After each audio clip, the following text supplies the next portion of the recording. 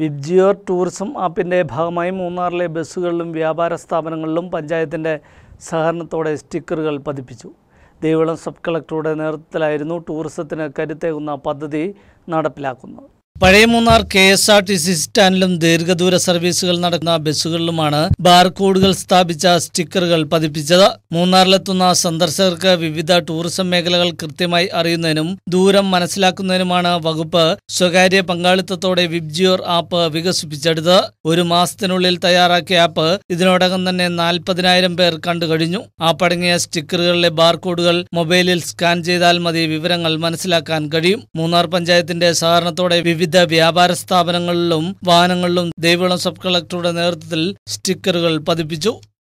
News bureau Munnar.